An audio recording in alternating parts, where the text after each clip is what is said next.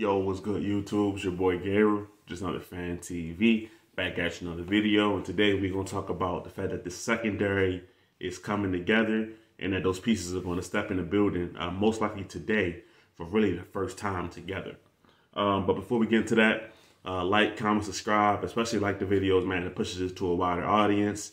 And uh, let, us just keep it going. Let's keep rolling, man. I appreciate everybody that has been like, commenting, and subscribing. And um, thank you, man. Keep it going. I love y'all. So now, the Ravens uh, secondary was a major issue last year. Pass defense overall was a major issue. But uh, some relief is coming, man.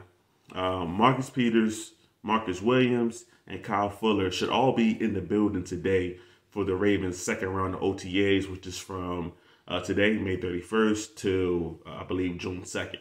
So another three-day period of guys being in the building together, a little bit of chemistry going on, and getting around each other for the first time. Now, um, last year, like I said, it was a major problem for the Ravens defense.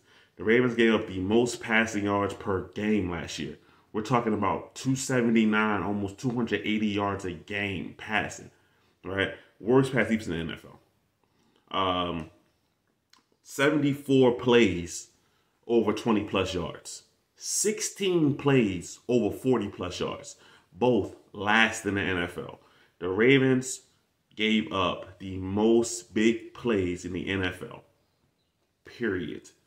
All right. Now, um, this offseason, this was a point of emphasis, revamping the secondary. It was a clear point of emphasis from everybody from top to bottom that um, I know we were rocked, that they know that they were rocked by injuries last year, but something needed to be changed overall.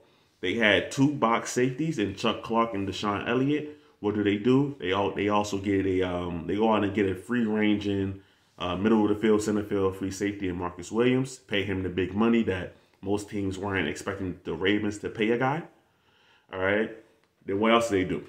They go out and get Kyle Hamilton in the draft. Jack of all trades, safety, can play in the box, can play deep, can play in the slot if need be. He can he can do a whole bunch of things over the all over the field. All right. What else? They go out and get Kyle Fuller, who has been a ball hawk in the past and come up with uh, major plays, intercepting the ball, getting his hands on the football. So the Ravens have made a real point of emphasis getting guys who get their hands on the ball. Now, if Marcus Peters can come back and return to his previous form, now you have a team that has three legitimate ball hawks when it comes to intercepting the pass, and a guy Marlon Humphrey who can knock the ball out um, on a tackle from behind or while he's trying to drag somebody to the ground can knock the ball out efficiently. So um, I think I read a stat in the last five years, um, the Ravens have three of the 23 guys in the NFL that have 13 plus interceptions. So that's Kyle Fuller, um, Marcus Peters, Marcus Williams. Those guys are just named. So in the last five years, those guys have 13 plus interceptions. So these are guys that are well known for turning the ball over when it's in the air. The Ravens only had nine interceptions last year. Didn't even have double digit interceptions as a team last year. So while it is just OTAs, it is good to see that these guys are going to be in the building together, um, getting to know each other, building some chemistry, because the relationship between um, a corner and a safety is invaluable. Um, a corner can play more aggressively if he knows that he has a safety in behind him who can maybe clean up some mistakes or cover for his aggressiveness. So now you can see a guy like Marcus Peters really fully shine in a role where he knows that the guy behind him is okay right? Now, we didn't get to see Marcus Peters at all last year because he tore his ACL in training camp literally the same day that Gus Edwards tore his ACL. So that was a major blow. But um, having him back, having his leadership, having that dog mentality that, that us Ravens fans love to talk about from guys like T Sizzle to Ray Lewis to Ed Reed, Marcus Peters is the lineage of those kind of guys. Yes, he wasn't drafted by the Ravens, of course, but he has that same mentality, that same spirit. So it's good to see that he's he's back in the building, um, working with the guys, and hopefully his recovery is going well. So far, there's been nothing but really good news about it. So um, maybe by the start of training camp, we'll see him do some more activities. I don't, like I said before in previous videos, I don't expect to see any Ravens really play in preseason. So really, the target for Marcus uh, Marcus Peters, excuse me, is um, Week One versus the Jets. How is he going to look? Is he going to be the starter? Things like that. And I'm a big advocate of not rushing back Marcus Peters just because Kyle Fuller is here. Now, that doesn't mean that he's a Marcus Peters um, replacement or he's on the same level.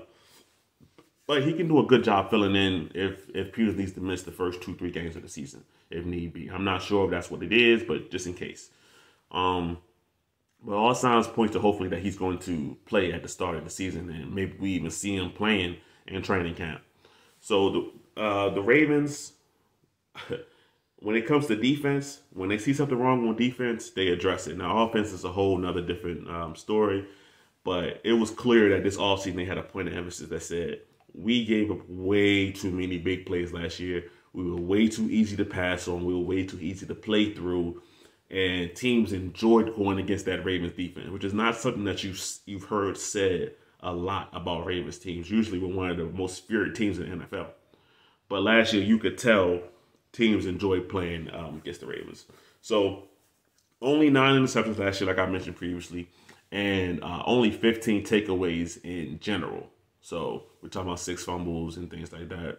Um, I expect both of these numbers to go up this year. Uh, the Ravens need to be in that. Um, they need to be in that top ten in takeovers. Not takeovers, sorry, takeaways.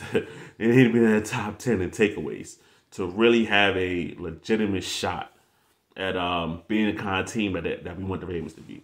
Now, this team is a, is one of the best rosters that's been put together so far. Right, we'll see if they got some more additions to make outside linebacker, wide receiver, things like that.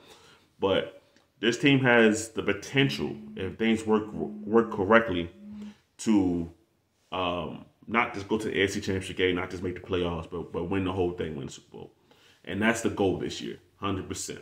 So uh, I'm looking forward to seeing seeing these guys in the building. Uh, maybe Marcus Peters will have a press conference so he can um, update him, him update us himself about how he's doing, his progress, his recovery. So I'm going to be looking forward to that. Um, and yeah, in the secondary as a whole, man, a lot of young guys uh, in the safety room, in the second, in uh, in the cornerback room, that's going to help out and really make this Ravens team a good one. So anyway, that's your boy Gabriel, just another fan TV. I'm out.